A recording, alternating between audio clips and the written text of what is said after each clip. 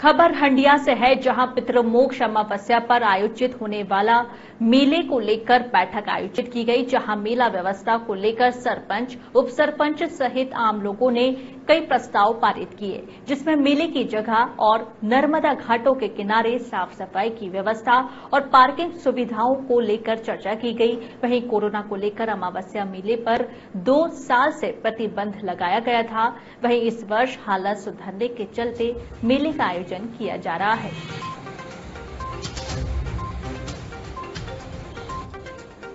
अधिवेशन रखा गया था जिसमें सरपंच श्री लखनलाल जी एवं उप सरपंच शरणजीत तिवारी की अध्यक्षता में ग्राम पंचायत की बैठक समय दो बजे से रखी गई थी।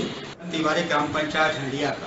कल हमारे साधारण सम्मेलन रखा गया था जो मासिक सम्मेलन होता है उसमें निर्णय लिए गए हैं कि प्रति वर्ष अनुसार इस वर्ष भी जो अपना पितृमोक्ष अमावस्या मेला है दूसरी अमावस्या मेला, उसको पूरी रूपरेखाएँ तैयार की गई। जिसमें सर्वप्रथम हमारे यहाँ जो पार्किंगों की नीलामी है और जो लेने के इच्छुक लोग हैं, वो ज़्यादा से ज़्यादा लोग आए। तारीख दो बजे से साधारण सम्मेलन रखा गया, उसमें नीलामी की जाएगी।